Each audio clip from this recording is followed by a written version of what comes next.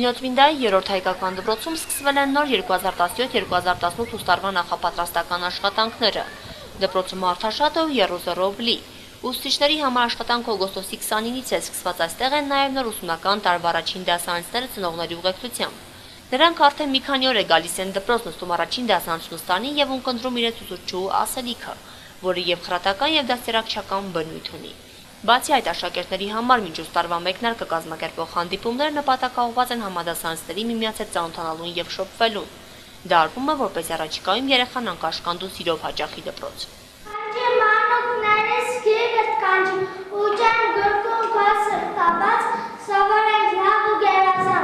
Ես Լաուրան եմ աշխուր ու ջրբիկ ուրախություն իմ շրջապատին, եթե ինչ-որ բան որոշեմ նպատակից պիտի հասնեմ, իսկ նպատակ դրել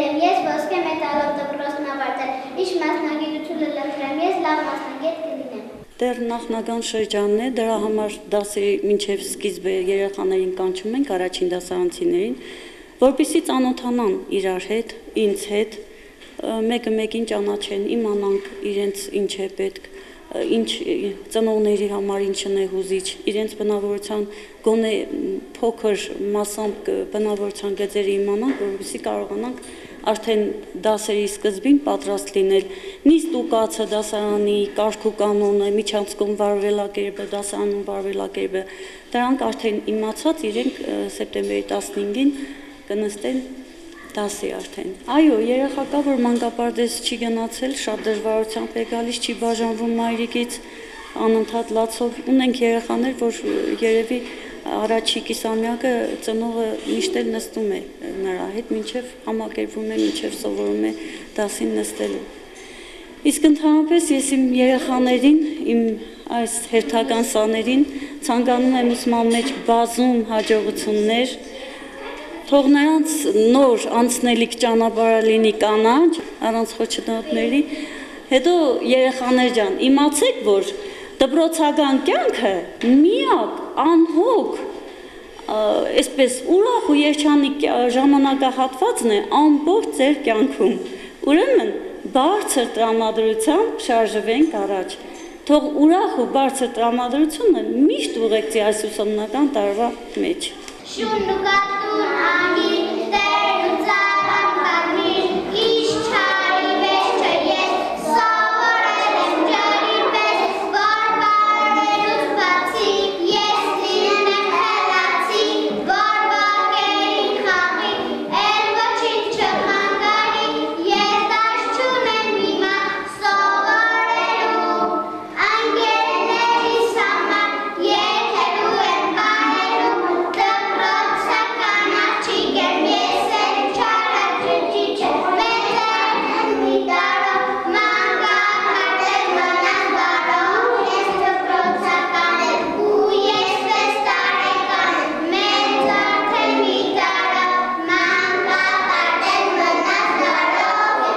2017-2018 ուսումնական տարին դպրոցում պատշաճ դիմավորելու նպատակով կազմակերպված բոլոր նախապատրաստական աշխատանքները ընթանում են։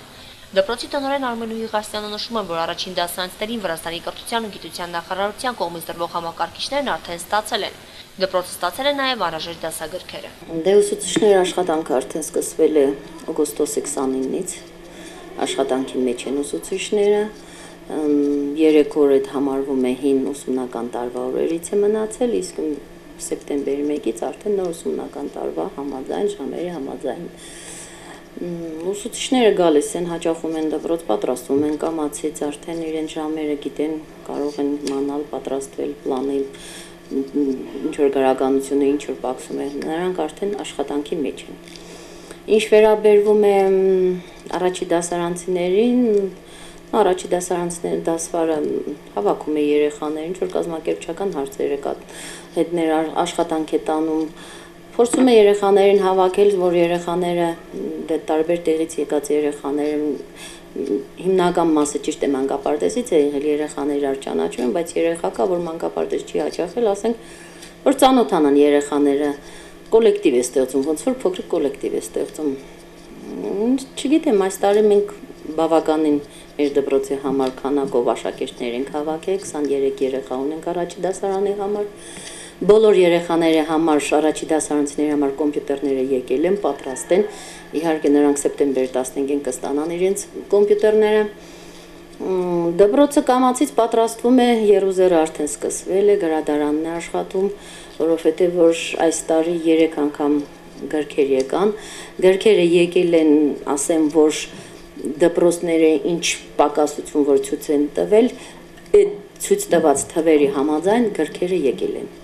Մի խնդիր կա, էլի ինչպես միշտ ամեն տարի, այս տարի էլ դպրոցներում հայոց գրականություն լեզվի գրքերի պակասությունը կա, զգացվում է եւ մենք ճունենք այբենարանը ճունենք մենք ասենք ունենք դե մի քիչ գրքեր են երեխաներին կարող ենք բավարարել բայց դե նոր ասենք նվեր գիրք ճունեն նրանք չգիտեմ ինչ ասեմ դպրոցը գրքի տետրի հաշվով ես մեր դպրոցի իրավիճակից դուրս գալով կարող եմ ասել որ մենք ճունենք ոչ մի պակաս գիրք որովհետեւ որ բազայում եսկուլի մեջ մենք ինչ ցույց ենք տվել, ինչ ենք պահանջել պետությունից, պետությունը մեզ բոլոր գրքերը բավարարել է։ Տետրերն էլ, գրքերն էլ։ Էլի եմ կրկնում, միայն մայրենի խնդրեմն ունի դպրոցը։ Ուսումնական ծրագրում նոր փոփոխություններ եղել են, թե չէ մեր հարցին Նյոթ Մինդայի թիվ 3 դպրոցի տնօրենը պատասխանում է։ Ոչ վրացական դպրոցների համար ուսումնական ծրագիրը չի փոխվել, գործում է անցյալ տարվա ծրագիրը։ Այն ժամերը, որոնք որ կային ուսումնական պլանի մեջ, նույն ժամերը մնացել են։ Ոչ մի փոփոխություն ուսումնական պլանի մեջ չի եղել։ Մենք դեռ ղեկավարում ենք հին ուսումնական պլանով, բայց հույս ունենք, որ մյուս տարվանից արդեն մեր ուսումնական ծրագիրն էլ կփոխվի, որովհետև որ արդեն նոր ծրագրեր են մշակվում, նոր ծրագրերի մեջ վրացական, որ կարդում ենք ահագին փոփոխություններ կան, այնտեղ առարկաներ են մտցվել, ինչ որ բան հարցեր կան, որ տարբերվում են մեր ուսումնական ծրագրից բայց մենք դեռ ղեկավարում ենք մեր հին անցյալ տարվա ուսումնական ծրագրով։ Ուզում եմ բոլոր երեխաներին ցանկանալ, շնորհավորել դեռ ճիշտ է սեպտեմբերի 15-ը չէ, ուզում եմ բոլորին շնորհավորել նոր ուսումնական տարվա արդիվ ուզում եմ ծնողներին ասել, որ հարգելի ծնողներ, ձեր երեխաներին կամացից պատրաստեք, որ երեխաները դպրոցեն 10 սեպտեմբերի 15-ին գալու եւ լուրջ պատրաստ լինեն նոր ուսումնական տարվան։